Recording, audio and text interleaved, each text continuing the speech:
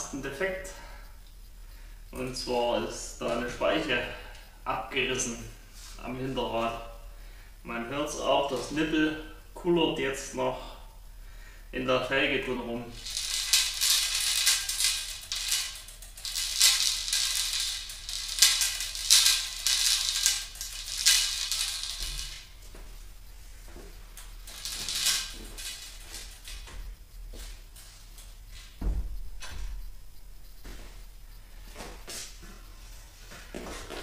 Deswegen habe ich mir jetzt Ersatz besorgt. Das sind zwei Mavic-Felgen oder ein Laufradsatz von Mavic. Und den werde ich jetzt einbauen.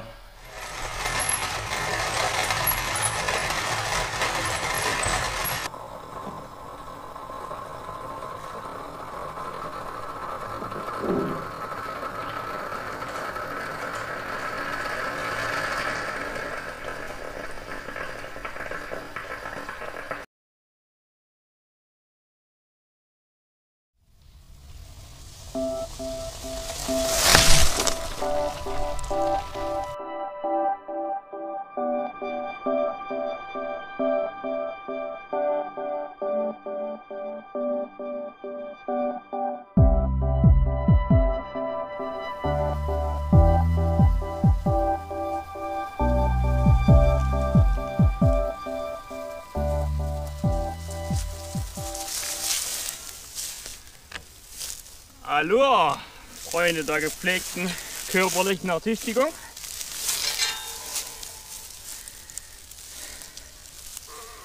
Heute ist die Nacht der Nächte. Denn heute Abend, beziehungsweise heute früh, ist in Hawaii die Weltmeisterschaft. Die WM auf der Langdistanz in Hawaii 2018. Ich werde es mir am Livestream anschauen. Das wird super geil. Ich bin total gespannt, habe schon die ganze Woche auf YouTube die ganzen Hawaii Specials konsumiert. Breakfast with Bob. Dann Lionel Sanders auf seinem eigenen Kanal Pushing Limits hat auch super, super Beiträge ins Netz gestellt und veröffentlicht. Also das war echt, war echt spitze. Das hat mir unheimlich Spaß gemacht, mich darauf ja, einzulassen, mir das anzuschauen. Echt genial. Mein Tipp für den Ironman auf Hawaii 2018 bei den Frauen. Ich denke, Lucy Charles, die hübsche Lucy, kommt als erstes aus dem Wasser. Sie wird auch das Radfahren als erste Frau beenden. Als nächstes kommt die Daniela Rief in die Wechselzone T2, überholt aber beim Laufen die Lucy Charles, weil sie einfach stabiler läuft, die Erfahrung hat und Daniela Rief wird auch bei den Damen den Ironman auf Hawaii gewinnen. Platz 2 für Lucy Charles und Platz 3. Jetzt kommt Anne Haug, der Rookie bei den Damen. Ich denke, sie ist völlig unbefreit, hat keinen Druck, will einfach sehen, was passiert und wird ihre Stärke beim Laufen ausspielen können und wird auf Platz 3 landen. Bei den Herren, ja, da ist so eine Sache.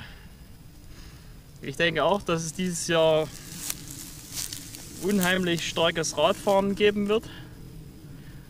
Das heißt, es werden zwei, drei Mann beim Rad deutlich vorne wegplatzen. Da denke ich, wird Sebastian Kiele dabei sein, Lionel Sanders, Cameron Wolf. Die drei auf alle Fälle. Sebastian und Lionel gehen zusammen auf die Laufstrecke.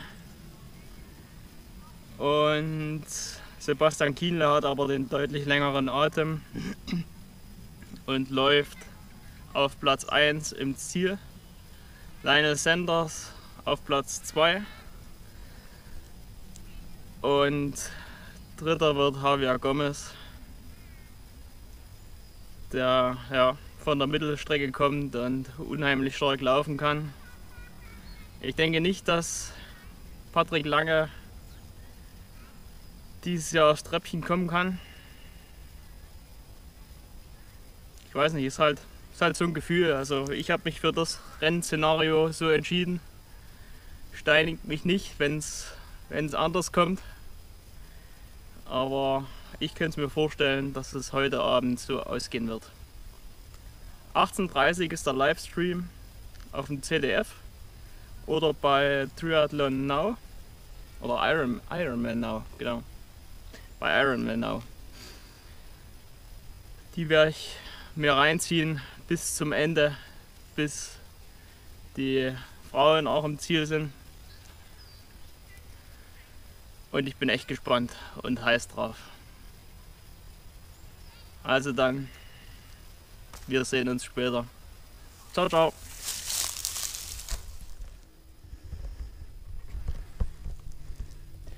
Temperaturen fast wie auf Hawaii und das im Oktober.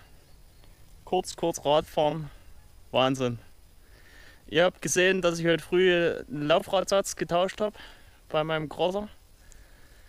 Ähm, ich habe mich für den Mavic Laufradsatz entschieden. Den Askium ist einer der günstigeren. Habe aber mit Mavic bis jetzt immer gute Erfahrungen gemacht. Deswegen habe ich mich für den entschieden. Macht einen sehr stabilen und guten Eindruck. Den anderen Laufradsatz werde ich reparieren und werde Straßenreifen aufziehen. Und somit habe ich einen zweiten Laufradsatz, den ich auf den Crosser stecken kann und habe dann Straßenreifen. Ja, leider hat Bike Discount mich etwas enttäuscht.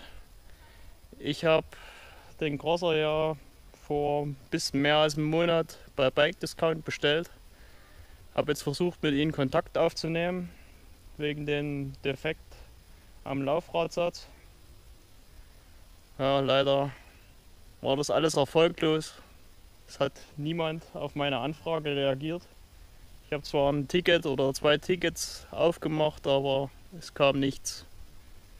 Das ist ein bisschen traurig, ein bisschen schade, aber ja, nichtsdestotrotz, ich habe mir einen neuen Laufradsatz bestellt, damit ich wieder einsatzfähig bin. Sonst ist das Rad immer noch top und ja. Klar, der Laufradsatz war sicherlich eine der günstigsten Komponenten, die da in so einem Crosser dran sind. Ich denke auch, es war ein Problem vom Einspeichen. Die Speichen und Nippel, die stehen so schräg, auch bei den anderen, die jetzt drin sind, sodass, ja, denke ich, im Gelände die eine oder andere Speiche da noch kaputt gehen kann.